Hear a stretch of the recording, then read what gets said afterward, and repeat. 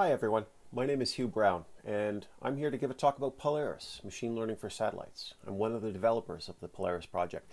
This is a recording of a talk that I was planning on giving at the CubeSat Developers Workshop in May of 2020 and I'm sad that that's not going to be happening. I was really looking forward to getting to meet everyone and learn more about the work that you do. I hope that this presentation will be interesting and I really look forward to the chance to meet you all again in uh, the 2021 workshop. And so with that, let's get started. I'm going to be talking about Polaris, what it is, how we got started, what its uh, what its purpose is, and what it can do. I'm going to be showing you what it can do, uh, giving a demonstration of the analysis that we've done for the LightSail 2 satellite. I'm going to be talking about the future of Polaris, the features we want to ask, or the features we want to add, but also asking you what you would like from Polaris, the folks who build and operate satellites. And finally, I'm going to be issuing an invitation to join us and help us make Polaris better. So, Polaris is available at our website, polarisml.space. It is an open source Python tool for exploring and analyzing telemetry data obtained from the SatNOGS network. Now, we are licensed under the LGPL v3, it's open source software. We're building on the amazing ecosystem that Python has for machine learning and data science. And we're analyzing telemetry that we obtain from the SatNOGS network. I need to take a moment here to shout, give a shout out to SatNOGS in particular. If you haven't come across SatNOGS before, it's a project maintained by the Libre Space Foundation. It is a network of over 200 ground stations all around the world running open source software and hardware collaboratively scheduled and capturing raw data and telemetry from satellites as they pass overhead. SatNOGS schedules these observations and makes the data it collects available to anyone to use. And without that data that they've collected and made available, we wouldn't be able to make Polaris. The goal of Polaris is to pave the way toward open source autonomous satellite operations for missions at all scales anywhere in the solar system. Now, there's no question that is a big and hairy and audacious goal. And so our beginning is making available to satellite operators a machine learning generated analysis, automatically derived, of the telemetry captured for a particular satellite and offering them the insights that the machine learning model can present to them. The architecture of Polaris is pretty simple. At its heart, it's a Python command line application. There are three subcommands, three parts of Polaris. Fetch, learn, and viz. Together, these represent the Polaris pipeline. So let's take a look at those components in a little more detail. You'll be noticing, by the way, that these diagrams are a little, a little spare. There, there's not much here. They do a lot right now, but there's no question we want to add more to Polaris. And that's going to be something I talk about uh, toward the end of my talk.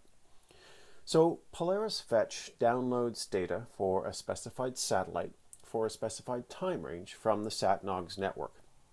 Now I should make clear here, we're only able to download telemetry as opposed to raw radio data uh, when the satellite operators have elected to publish the specifications for that telemetry. I encourage everyone to do this.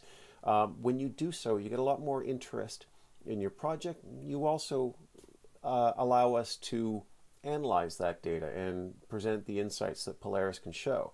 Without that, we can't do a whole lot. So the telemetry is downloaded, it's normalized, and passed on to Polaris Learn.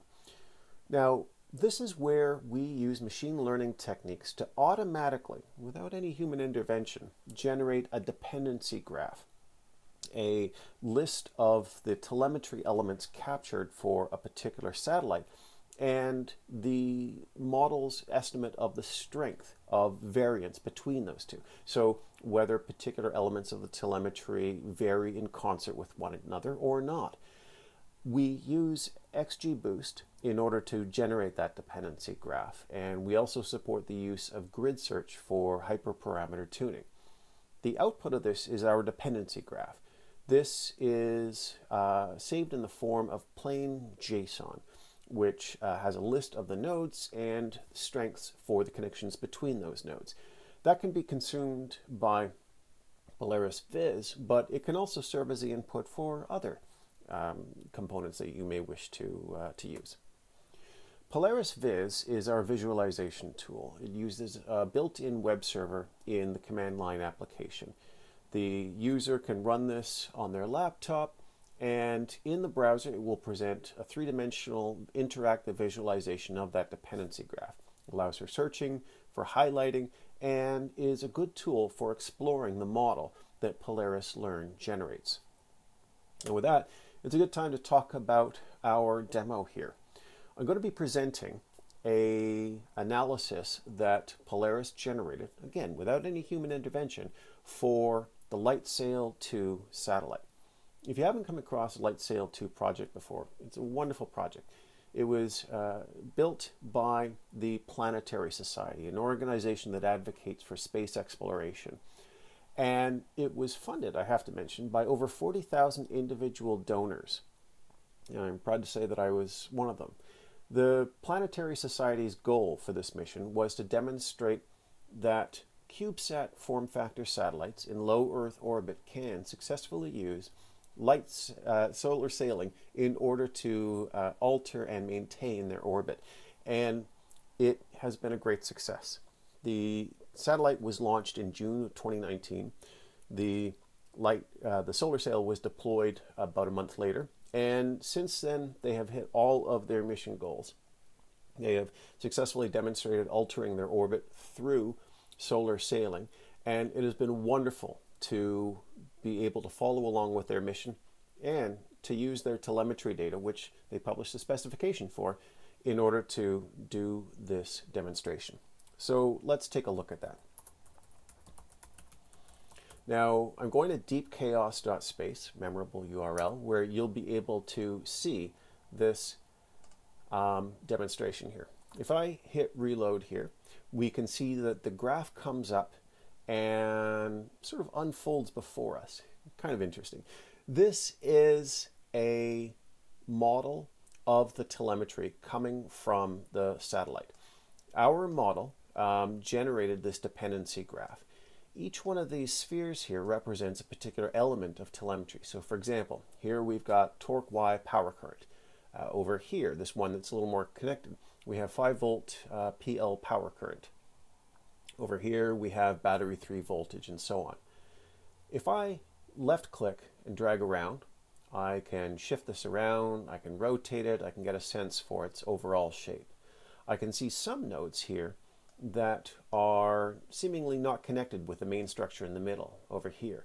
Uh, that's where our model was un unable to find any historical connection uh, or dependency between how these varied and how the rest of these uh, varied.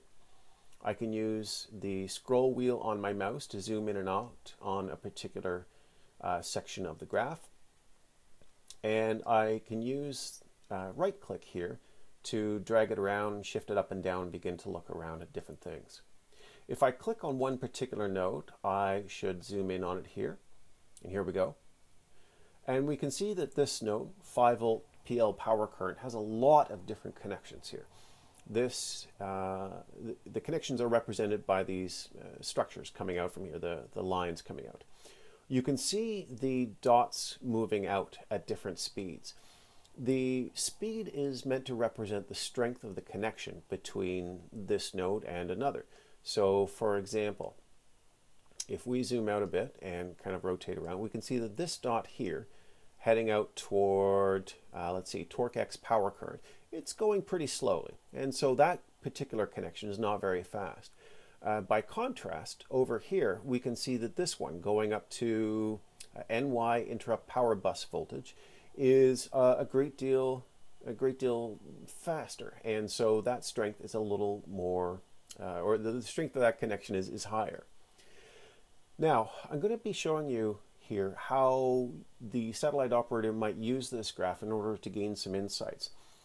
Now when I was looking around um, I was checking out different nodes. There was one in particular that was interesting to me, data free. Now I could search around for it on the graph, but I can also hit and hit uh, type its name up in the search bar here. So data free and hit enter And now we'll zoom in on this particular one. Okay, and we can zoom out and see some other connections that it has. And if I do this, what I can see here are some of the connections that it has to different nodes. So for example, this one up here is boot time. So it found that there was some some way that it varied, uh, the, the data free varied in, um, in, in concert with the boot time telemetry item. It also varied in time with CAM1 pics remaining. Now, that one was interesting to me. Uh, so CAM1 pics remaining, camera 1 has a number of slots available for pictures, and this uh, telemetry item indicates how many of those slots remain unused. So that made sense to me. You could imagine uh, data free changing, probably going down as uh, more pictures are taken or um, becoming larger as, as uh, some of these slots are freed up. So that made sense to me. But also, I noticed these connection to magnetometer readings, uh, mag PXX, mag PYZ. Um, there was another one over here. Yes, mag PXZ or PXZ. And I didn't know what to make of that. I wasn't sure why there would be a change in in um, a, a, common change between magnetometer readings and uh, free disk space, and it occurred to me that there were probably a couple explanations I could come up with. So one guess might be that magnetometer readings need to be logged. In order to be logged, they need to be stored on disk and then passed down as uh, as as the satellite gets time to do so. So perhaps a changing magnetometer reading just means that there's more disk space taken down or, or taken up by those readings. However, um, the connection with CAM1 pics remaining was also sort of interesting. And so perhaps another explanation is that as pictures are taken, the satellite probably needs to change its orientation. So it's pointed away from the blackness of space and at something more interesting like the Earth or something like this. And so the magnetometer readings would change as its orientation changed. And so that was, as I say, pretty interesting. So I decided to do a bit more explanation or exploration. So one thing that you can do in the search bar here is hit Control Enter when searching for a particular um, element of telemetry. So if I do that and hit Control Enter, what I can see is that this matching node has changed its color. Now that's dark red, it's a little hard to see, so I'm going to change that a couple times so I get something a little better. There, light green, that's kind of nice. If I search for MAG, I get all of the telemetry readings that have MAG in their name, all those magnetometer readings. And so if I hit Control Enter, I see them change color now. Similarly, we can look for CAM uh, flags and highlight those in this blue color. If we zoom out a bit, we can see that we do get some interesting structures beginning to emerge from this overall main structure. Uh, there are some interesting collection of um, the camera statuses over here, for example. And down here is our magnetometer reading close to our original data free node. We can highlight different things as well. Perhaps we want to look at temperature. Now those are highlighted in purple. We can look for battery status and flag and highlight those in yellow. And with this, we now have a much better, richer view of the telemetry, seeing not just one central structure, but collections of substructures that make up the, the overall pattern here. And this would be the perfect time to go back to the satellite operator and say, what do these things indicate to you? What does this suggest to you? And with that, I'm going to switch back to my uh, slides for the rest of the talk here. So, I mentioned that we have plans for Polaris. We certainly do. So far, we have over 12 contributors from all over the world. We participated in Summer of Google Summer of Code last year, along with the European Space Agency's Summer of Code in Space, and we hope to participate again in those programs this year. We want to add more features to Polaris. So for Polaris Fetch, we'd like to be able to add more data to what we're already analyzing with Polaris Learn. We'd like, for example, to be able to fetch three-line elements for satellites and use them to do orbital propagation. Be able to say things like, this is when the satellite was in eclipse, or this is when it was over this or that particular magnetic anomaly. We would like to add support for other contextual information. So perhaps we could say things like, this is when a particular space weather event uh, took place, or this is when a command was issued to the satellite that changed its orientation. For Polaris Learn, we want to improve the analysis that we do on the telemetry we have. We want to add behavioral classification and prediction using uh, the algorithms we have and also other algorithms as well. We want to incorporate user feedback and use that to improve the model we get. And for Polaris Viz, we want to do more dependency graphs like the demo I showed you. Right now we update that graph for LightSail 2 every week or so as new data is captured by the SatNOGS network. We'd like to do this for other satellites as well. Although again, we need the published specifications for telemetry in order to do that. We'd like to be able to highlight the outliers and warnings that Polaris Learn detects flag those for the operators. And we'd like to show our predictions, even support on-demand predictions. Finally, though, we want to ask you, the satellite builders and operators, what you would like from Polaris. We want to make this bigger. We have our horizon goal of autonomous operations in space, and we want to know what you need in order to make those things happen. So, in conclusion, even with some fairly simple analysis and initial exploration of the data for one satellite, we found some pretty interesting results. We need to collaborate with satellite operators and builders to validate those results and to get feedback about other features that would be useful. More data is going to yield even better results, whether that is more data from more satellites or being able to include data about hardware that's common between satellites so that even if the model for a particular star tracker, let's say, comes from another satellite, it can still be incorporated into a model for another one. And with that, I'd like to invite you to contribute. You can reach us at polarisml.space. That has links to our chat room on riot.im. It has links to our code, links to our wiki, and our demo sites. And at polarisml.space, we would love to have you join. So with that, thank you very much for watching and I really hope to be able to meet you at the 2021 CubeSat Developers Workshop. Thanks very much. Bye now.